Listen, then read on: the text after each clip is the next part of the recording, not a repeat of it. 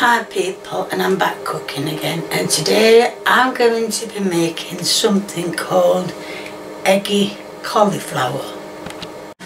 As you can see at the moment I have some cauliflower which is cooking which is part of it which was to cook it for a few minutes till it goes soft and then when it's cold cut it up into bits for the frying pan. As you can see now the cauliflower's gone colder and softer. Is that a word?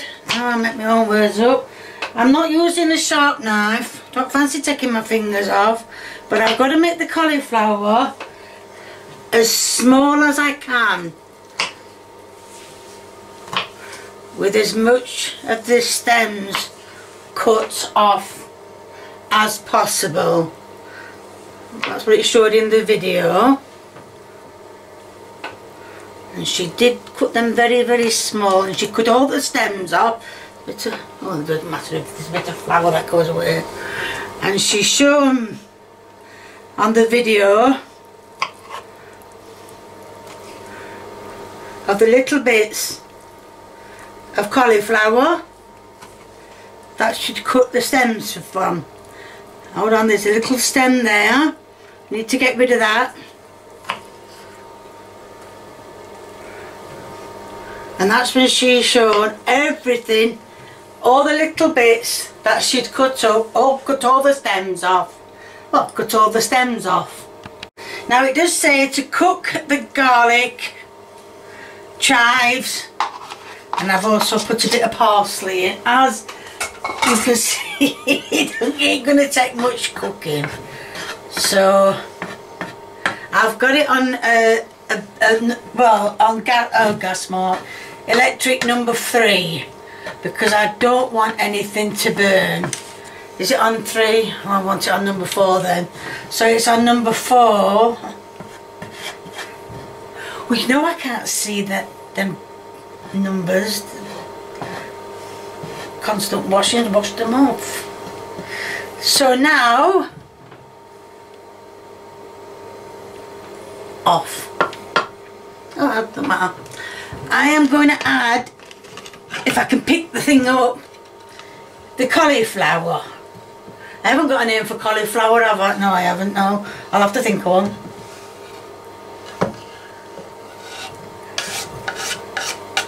Cauliflower. Oh, look, one was escaping. And it does say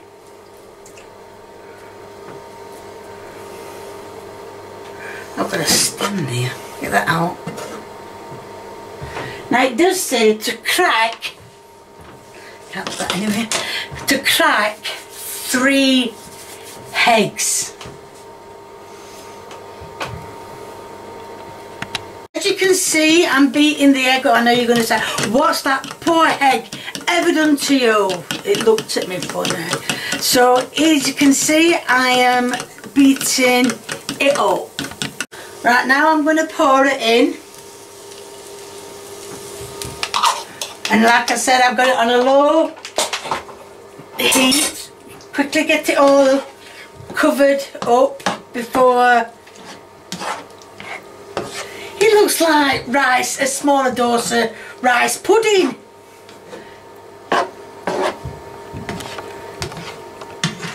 Doesn't it? Look, look like rice pudding as you can see the egg has evaporated and it's starting to take the shape of golden brown which it's supposed to do uh, I just have to just think it needs a little longer and then it will be done and that is the end product of what did I say it were? Cauliflower egg or something. Eggy cauliflower And now, here comes the taste test.